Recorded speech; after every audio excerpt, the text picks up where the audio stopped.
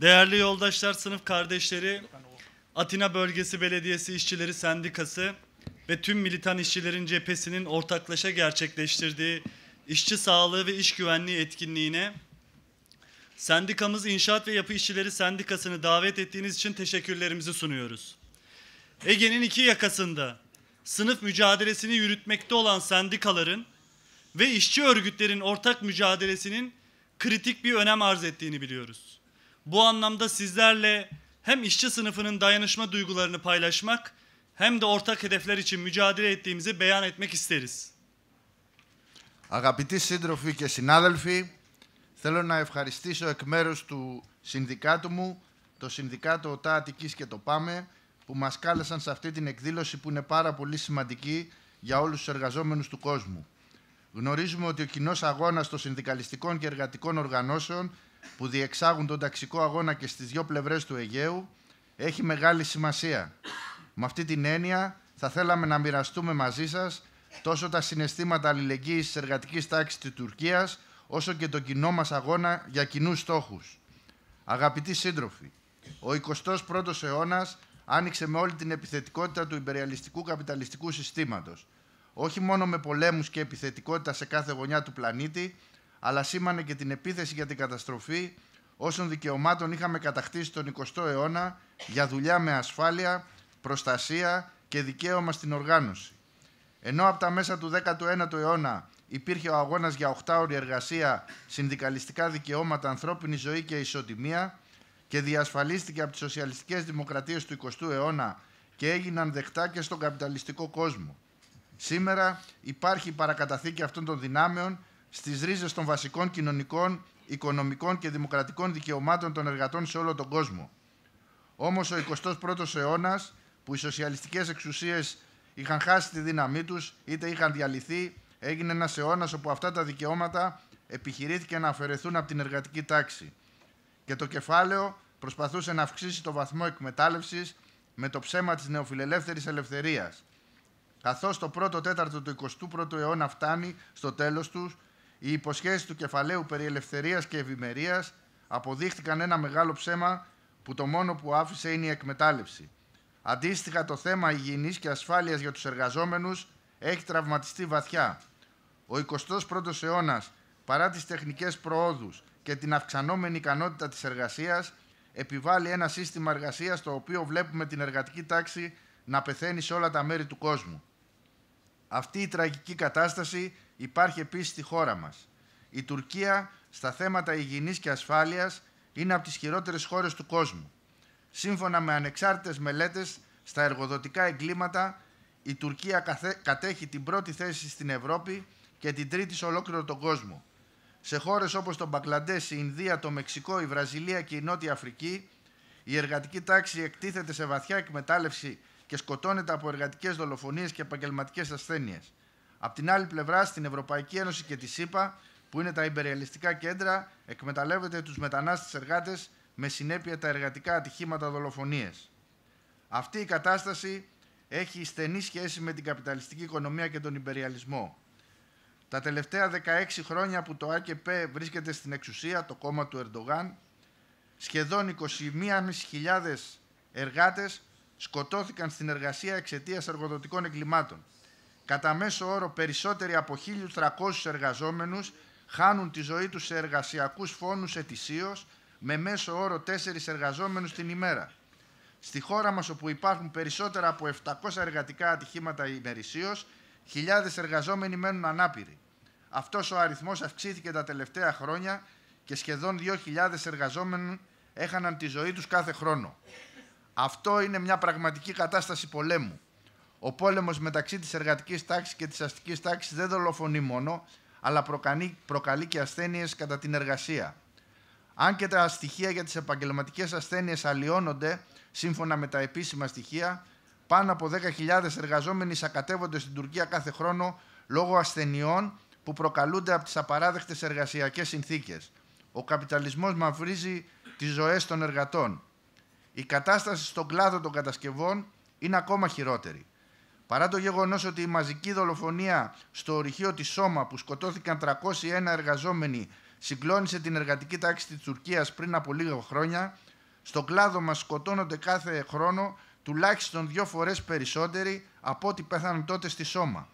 Η κατασκευαστική βιομηχανία και οι υποτομείς της στηρίζονται από την κυβέρνηση του ΑΚΠ και το κεφάλαιο και αποτελούν τη ραχοκοκαλιά της οικονομίας της Τουρκίας. Σχεδόν το 8% της συνολικής απασχόλησης ανήκει στον τομέα των κατασκευών με οικονομικό όγκο σχεδόν 30%. Ο τομέας των κατασκευών απασχολεί σχεδόν 2 εκατομμύρια εργαζόμενους και δεν έχει χάσει όμως το προβάδισμα στους θανάτους εργοδοτικά εγκλήματα τα τελευταία πέντε χρόνια. Μεταξύ 2012 και 2017, περισσότεροι από 2.600 εργάτες στον κλάδο έχασαν τη ζωή τους σε εργατικά ατυχήματα. Πτώση από ύψος, ατυχήματα οχημάτων και άλλους λόγους χάνουν οι εργαζόμενοι τη ζωή τους στην οικοδομή. Είναι και δεκάδες χιλιάδες που έχουν μείνει ανάπηροι ή έχουν αρρωστήσει ή ταλαιπωριούνται μέχρι να πεθάνουν. Εμείς στο Συνδικάτο Εργαζομένων στις Κατασκευές ξέρουμε πολύ καλά ότι η βασική αιτία αυτών των προβλημάτων είναι οι ελαστικές και μη οργανωμένες σχέσεις εργασίας και απασχόλησης. Αυτή είναι η σύνοψη του καπιταλισμού. Ένα από τα πιο εκμεταλλευόμενα τμήματα της εργατικής τάξης στην Τουρκία, οι εργάτες στην οικοδομή σκοτώνονται ή αρρωσταίνουν στη δουλειά. Εμείς για να αλλάξουμε αυτή την κατάσταση συγκροτήσαμε το σωματείο μας, το σωματείο αφοσιωμένο στις αρχές του ταξικού συνδικαλισμού και μαζί με τη συνήφ Ταυρή ταξική στάση, που είναι ένα μέτωπο που είμαστε μέλη του, υπερασπίζουμε το δικαίωμα στη δουλειά για όλους με δικαιώματα. Σε αυτό το πλαίσιο συγκρουστήκαμε με τη γραμμή της εργοδοσίας και υπερασπιστήκαμε τα συμφέροντα της τάξης μας. Πραγματοποιήσαμε απεργίες και αγώνες για τα δικαιώματά μας με δεκάδες χιλιάδες εργαζόμενους. Το πιο διδακτικό αυτών των αγώνων είναι ο αγώνας των εργαζόμενων στο νέο τρίτο αεροδρόμιο της Κωνσταντινούπολης. Το έργο εκτελείται από την κυβέρνηση προς όφελος του κεφαλαίου ως εργαλείο ενοικίασης ενός μεγάλου project επίδειξης και πραγματοποιείται με μεγάλη εκμετάλλευση και καταστολή. Στο τεράστιο εργοστάσιο δουλεύουν δεκάδες χιλιάδες εργαζόμενοι με στόχο της υλοποίησης αυτού του project και οι εργαζόμενοι αναγκάζονται να εργάζονται υπό συνθήκες που προσκαλούν το θάνατο και μοιάζουν με δουλεία. Στο εργοτάξιο υπάρχουν χιλιάδες εργολάβοι και περισσότεροι από 200.000 εργαζόμενοι στον τομέα των κατασκευών. Πάνω από 50 θανάτοι έχουν καταγραφεί μέχρι στιγμής, αλλά και εκατοντάδες εργαζόμενοι που έχουν υποστεί αναπηρία και που δεν αναφέρονται πουθενά. Οι εργαζόμενοι αναγκάζονται να εργάζονται σε αυτοσχέδιες καλύβες με ανθυγιεινέ συνθήκες διατροφής, πολλές ώρες εργασίας, απλήρωτους μισθούς, καταστολή και εκβιασμό των ανωτέρων τους στην περιοχή του τρίτου αεροδρομίου. Και αν αυτό δεν αρκεί, η πρόσβαση στο χώρο εργασίας γίνεται πολύ δύσκολα. Για παράδειγμα, για να πάει κάποιος στο χώρο δουλειάς, μπορεί να περιμένει και δύο ώρες για τα λεωφορεία που μεταφέρουν τους εργάτες. Κάτω από αυτές τις συνθήκες, χιλιάδες εργαζόμενοι οργανώθηκαν και αντιστάθηκαν τον περασμένο Σεπτέμβριο, διεκδικώντας το δικαίωμα σε ασφαλή μεταφορά, υγιεινή στέγαση και για ένα αξιοπρεπές εργασιακό περιβάλλον. Το συνδικάτο μας που πρωτοστάτησε στην αντίσταση στους χώρους όπου είχε οργανώσεις, αλλά και γενικά στους χώρους, έφερε άμεσα τις κινητοποιήσεις στην ατζέντα της χώρας. Χιλιάδες εργαζόμενοι άρχισαν έναν αγώνα αξιοπρέπειας για τη ζωή τους, ενώ η εξουσία και η κυβέρνηση απάντησαν με σκληρότητα και απανθρωπιά. Το Συνδικάτο μας στήριξε το δίκαιο αγώνα των εργαζομένων και υπήρξε υπερασπιστής του μέχρι το τέλος. Με βάση τις εμπειρίες που είχαμε από απεργίες τα προηγούμενα χρόνια για να βελτιώσουμε τις συνθήκες δουλειάς, το μεροκάματο και τα μέτρα υγιεινής και ασφάλειας στο χώρο εργασία μας, για να υπάρχει υγιεινή διατροφή, μεταφορές και στέγαση, πρέπει να υπάρχουν στο χώρο εργασίας επιτροπές των εργαζομένων. Προσπαθήσαμε να υλοποιήσουμε μια παρόμοια πρακτική και συνεχίζουμε σε αυτή την κατεύθυνση στο τρίτο αεροδρόμιο. Απ' την άλλη πλευρά, η αντίδραση του κεφαλαίου και της εξουσίας πάντα ήταν να απαξιώνουν τις απεργίες και τους αγώνες. Ονόμασαν τους εργάτες προδότες και καταστροφή. Και σε αυτό το σημείο θα θέλαμε να σας υπενθυμίσουμε ότι εμείς κάναμε τα πάντα για να διασφαλίσουμε το δίκαιο της αντίστασης και της απεργίας των εργαζομένων.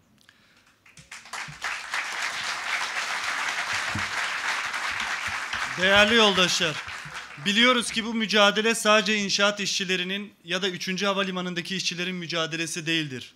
Bu tüm işçi sınıfının vermesi gereken bir mücadeledir. Güvenceli ve güvenli çalışma hakkı ile örgütlü bir işçi sınıfının bulunması arasındaki bağ sarsılmazdır. Bu anlamıyla sendikamız ve onun üst kuruluşu olan sınıf tavrı tüm ülkelerdeki işçilerin mücadelesiyle bağ kurmaya ve ortak hedefler etrafında mücadele etmeyi savunur. İşçi sınıfının tek tek ülkelerdeki mücadelesi zafere varıncaya kadar değil, yola devam edeceğiz. İşçilerin birliği sermayeyi yenecek. Αγαπητοί σύντροφοι, γνωρίζουμε ότι αυτός ο αγώνας δεν είναι μόνο αγώνας των εργαζομένων στον κλάδο των κατασκευών ή των εργαζομένων στο τρίτο αεροδρόμιο. Αυτός είναι ένας αγώνας που πρέπει να δώσει ολόκληρη εργατική τάξη. Η σύνδεση μεταξύ του δικαιώματος για υγεία και ασφάλεια στο χώρο δουλειάς και της οργανωμένης εργατικής τάξης είναι άρρηκτη. Με αυτή την έννοια, το Συνδικάτο μας, μαζί με το μέτωπο ταξικής τάσης, υποστηρίζει την ανάγκη συντονισμού με τον αγώνα των εργαζομένων σε όλες τις χώρες και του αγώνα για τα κοινά αιτήματα. Ο αγώνας της εργατικής τάξης θα συνεχιστεί μέχρι τη νίκη, η ενότητα των εργατών θα νικήσει το κεφάλαιο. Θα θέλαμε στους συναδέλφους που ήρθαν από την Τουρκία να δώσουμε μια αναμνηστική πλακέτα του Συνδικάτου σε ένδειξη τιμής και αλληλεγγύης για τους κοινούς αγώνες της εργατικής τάξης στην Ελλάδα και στην Τουρκία.